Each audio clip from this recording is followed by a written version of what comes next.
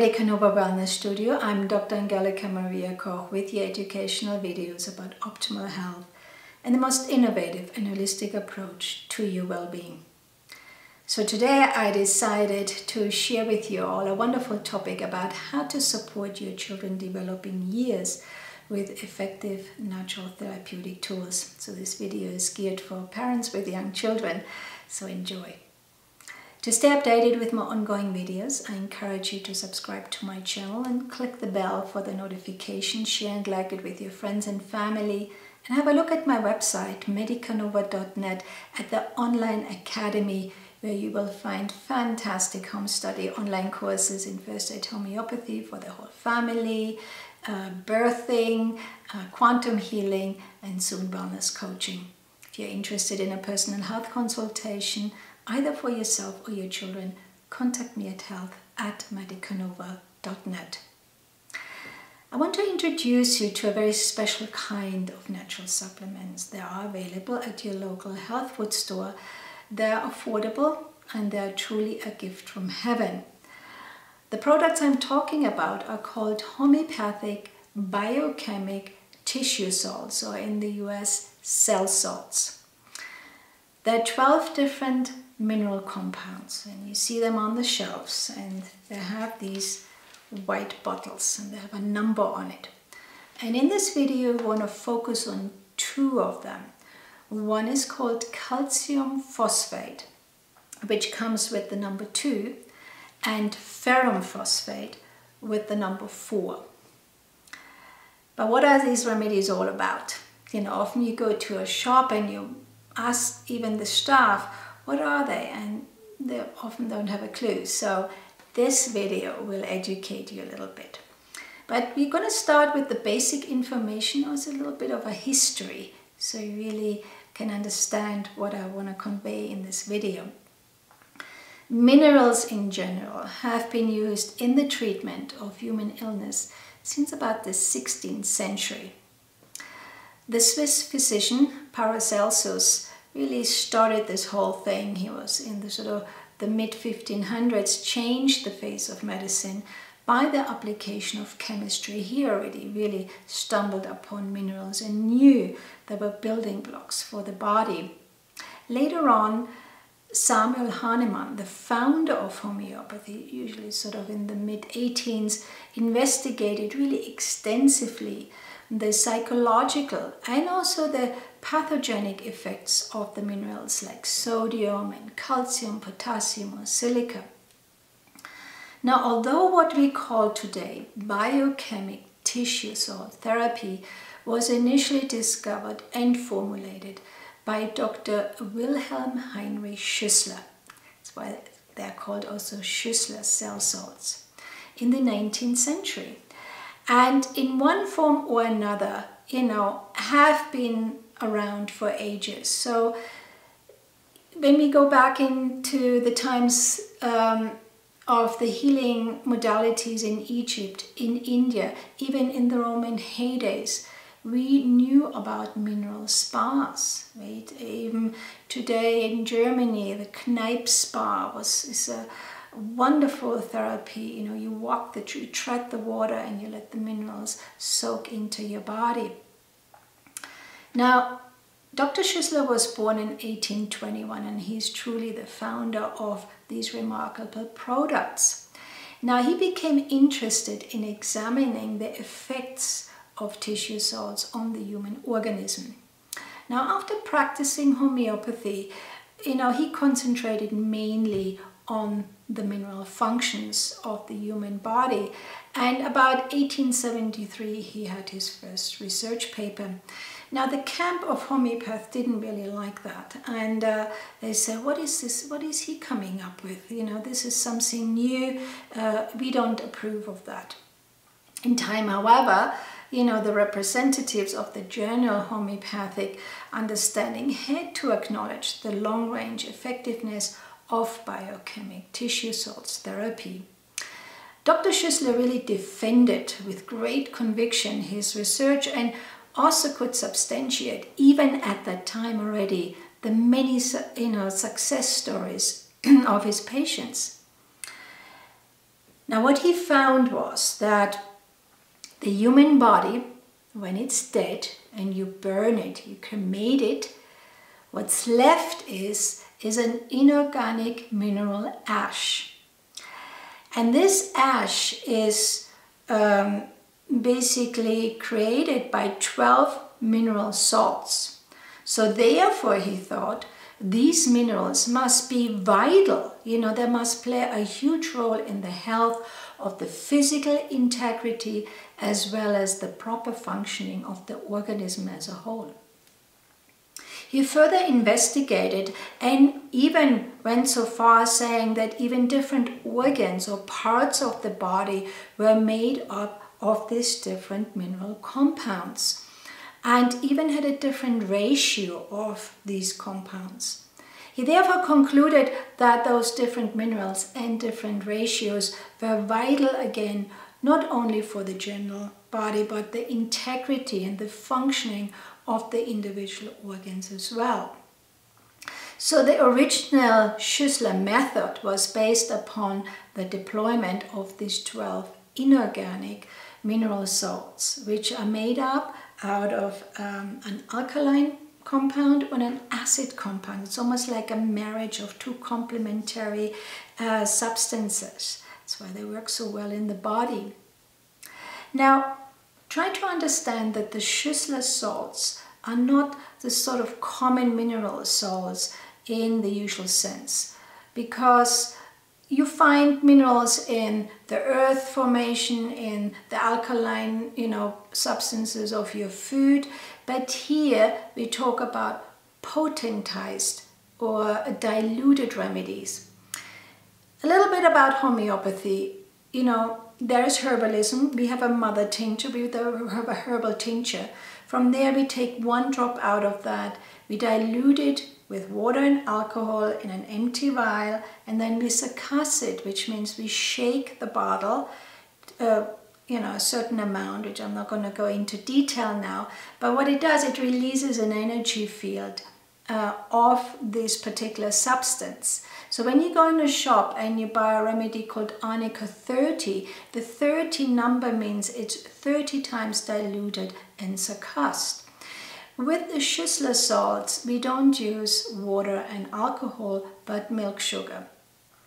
The beauty of this method is that they directly nourish the cells in the organism. They go straight to the core of the very being of yourself. So each of the Schussler minerals basics is their alkaline and acid elements and they are uh, used in a combination.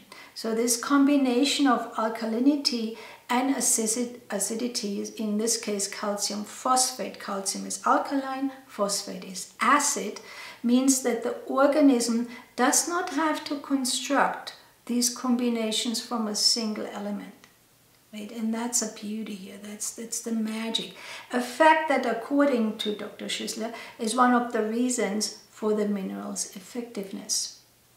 So what we provide with these products are basically, we provide something the body recognizes because that's what my body is made of anyway in the first place.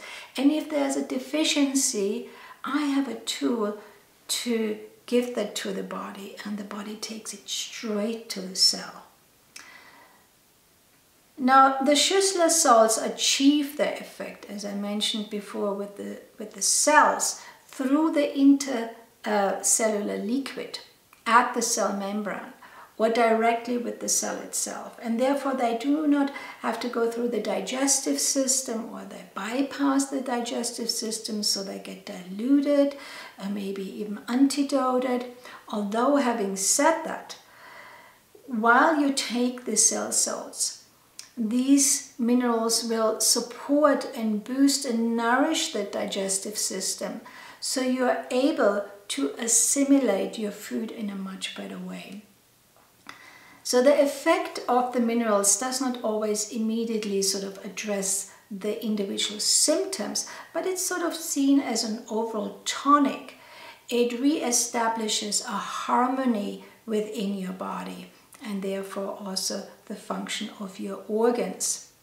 So as I said, when you're deficient in minerals, in a, you know, and you want something which really addresses your cell, the biochemic tissue or cell salts are really the answer here. How do they differ from homeopathy? I'm not going to go in this video into details, but I just want to tell you that these Schüssler salts are exclusively substances that are already existent in a sufficiently balanced mass in a healthy body. And when we know we have a deficiency of that, when we are able to provide what the body needs in order to thrive.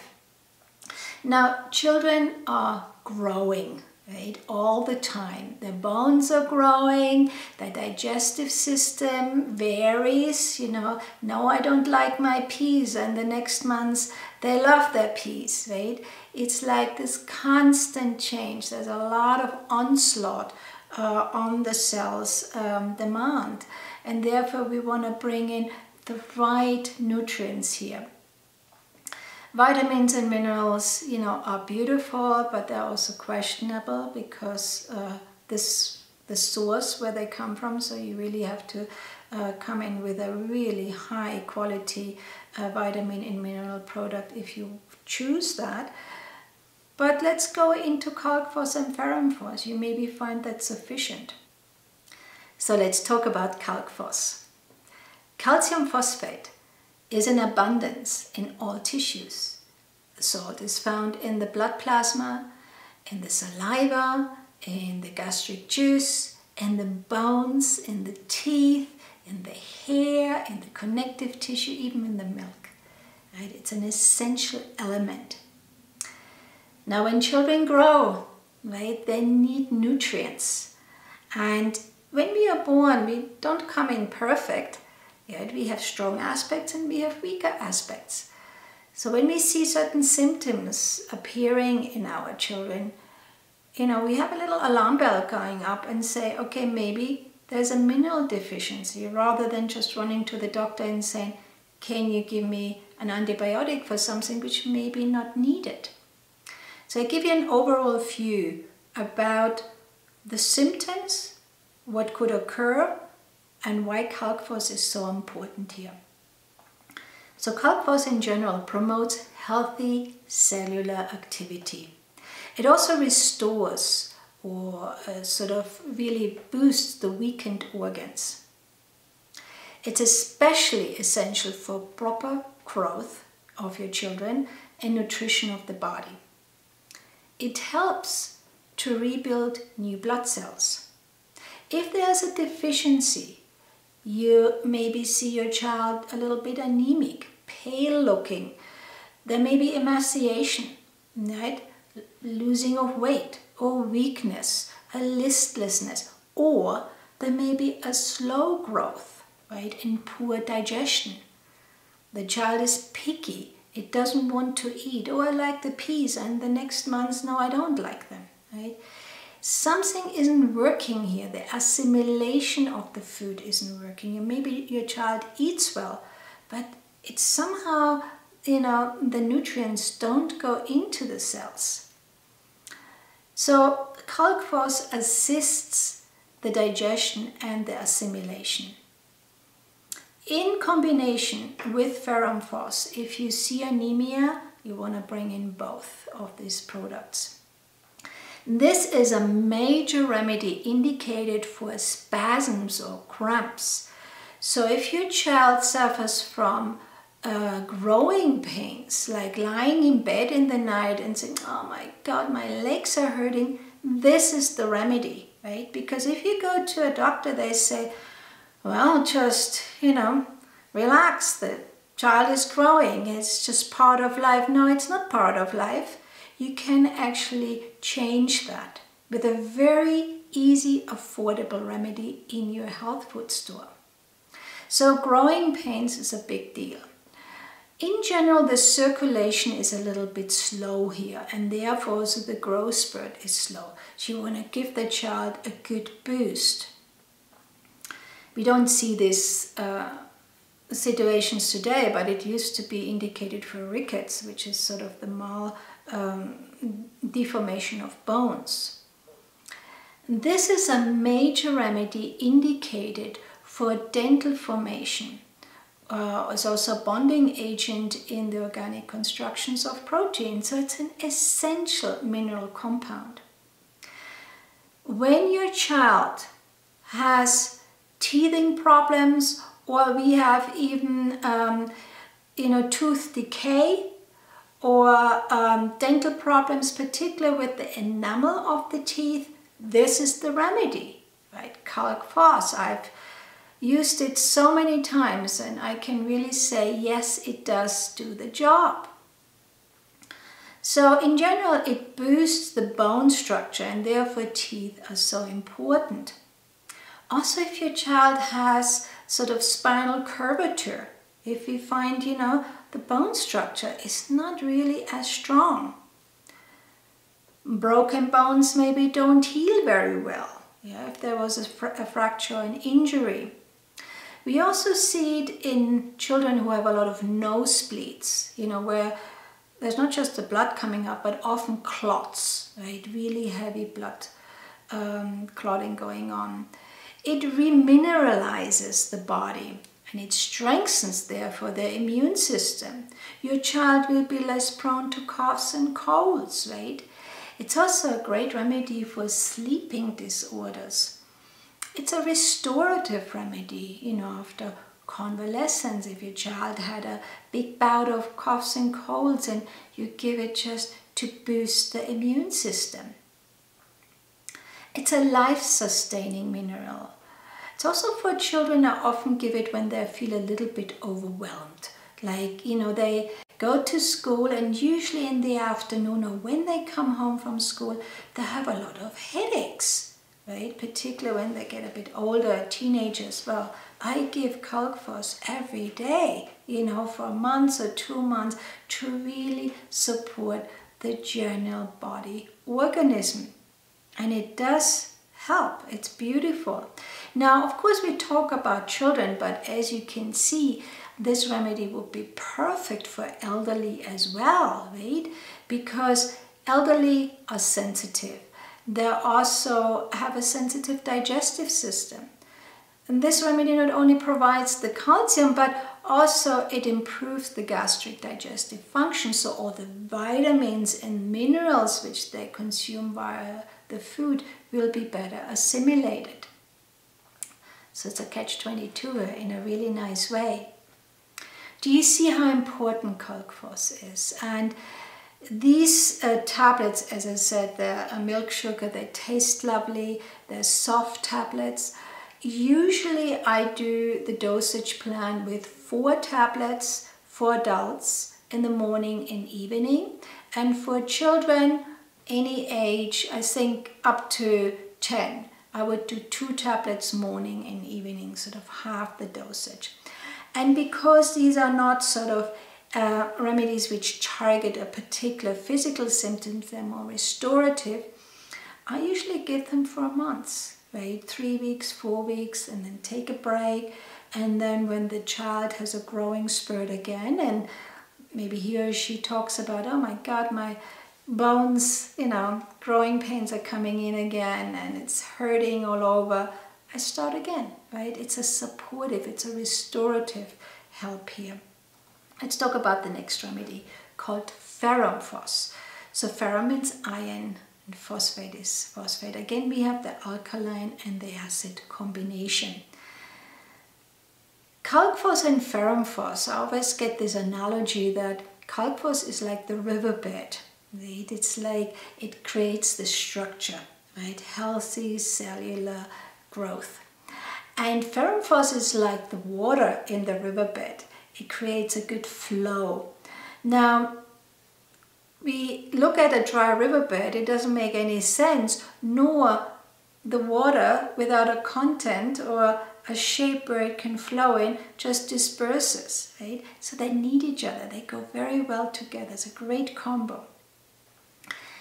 Ferrum-phos, what it does, it gives strength and toughness to the circular walls of the blood, particularly the arteries. Right, so now we're not just boosting the whole organism, now we bring in strength via the iron Ferrum phos is found in your blood, in the veins, in the arteries, as well as the lungs, the ears, and the nose. Now, both iron and phosphorus are in the body independently, but phosphorus contributes to the bone and muscle health, and iron aids exchange of oxygen in the blood, and that's why we want to bring in the flow, the circulation now. Now, found in all cells of the body, but primarily uh, in the hemoglobin of the red blood cells, which is the, uh, the red color, we also find it in the muscle cells of the blood and especially in the lymph vessels and in the hair cells. And you know, with children, the lymphatic system is so important. You know, it's these glands, um, you know, when your child gets a cold, they swell up um, and they feel like little balls, you know, in under the ears, as well as under the arms, you know, behind the knees. And the lymphatic system is really our transport system, which brings us nutrients to the cells as well. It takes away waste products. So if the lymphatic system isn't flowing well or is congested, we get ill. So it carries away waste and poisons from the affected tissue. It is the only metal salt among these 12 tissue salts. So what does it do? It freely provides circulation with oxygen-rich blood, which of course is essential to our health and life. In Chinese medicine we say congestion is illness and circulation is health. So that's what we want to do. We want to just move everything in our body. We want to feel that our chi is flowing. So we are we feeling health. It helps to release congestion, therefore, right, and establishes flow. It is indicated in all early stages, acute stages of any inflammatory disorder. So on the first or second day when you feel like you're going down, you have a cold coming on, especially a little sore throat with a mild fever, ferrum phos is the remedy. Children are very susceptible, you know, to colds and flu. They're very sensitive, they're a little bit nervous children here. And they also have a low energy. If you don't have enough oxygen inside you, you feel tired, right? There may be anemia. Again, we see the nosebleeds coming along, no matter what happens. I use this remedy majorly also again in congestive headaches in children, you know, uh, studying a, lot for an exam or just attending school. Ferrum comes in when you have these muscular strains and sprains and it really increases the body development. Again, in combination with calc it's a major remedy for the development of beautiful teeth. Right? Now, when you have a free flow within your body, everything is moving, your bowels are moving, right? You're not having constipation. Now, when you go to the health food store or even to your doctor, he might prescribe you iron tablets for your anemia. And I tell you what, most of the iron tablets if they're not plant-based, produce um, constipation, so be careful with that. Also, when everything is flowing in the body, you have more appetite. You enjoy your food better, and that's what we want to see with children. Children who have a deficiency of ferrum often vomit their food, right? It doesn't stay very long, and therefore we maybe see loss of weight. It's a great remedy when also children, sometimes it happens because of fear, but uh, particularly in new, newborns, if there's retention of urine, they're holding back the urine, it's not coming out very well. Again, the free flow of circulation of bodily fluids isn't happening. It's a great remedy, even if you have a wound, you take some of this cell salt and sprinkle it onto the fresh wound, it stops bleeding. So in combination, Calc-Phos and Ferrum-Phos is truly a God-sent gift here. And don't underestimate its efficiency. Because they have a very low potency, number six, you will have to give it more often and also for a longer term. In general, I say, you know, up to a month at least for the development of your child when you feel like appetite is not working, the digestion isn't working, child is listless, tired, you know, the teeth are not coming through very well. Um, I give this even to uh, very small children from two, three years old. You know, if I see that they need a boost and they need a boost for a while. And then you stop. I mean, these bottles usually contain here in America 500 tablets, so it lasts you a long time. They are affordable, but they're very effective. If in doubt, of course, contact your healthcare practitioner or I'm happy to help you with a personal consultation here at health at medicanova.net. These are only two of the products of these 12 different kinds of biochemic cell or tissue salts and of course, there's much more to explore. And the more I even think about it, I may introduce more of these products in future videos. So maybe just want to cover two of these remedies in one video because they're really such a joy to work with. And as already mentioned, you don't need to be a certified practitioner to use these remedies. You just need to know what they're about and how to use them. And of course, if you're in doubt, again, contact me at help at medicanova.net. So I hope this little introduction about the homeopathic biochemic tissue salts or cell salts in the US gave you a little bit more insight and also a courage to use these remedies with your children. For today, much love. Take care.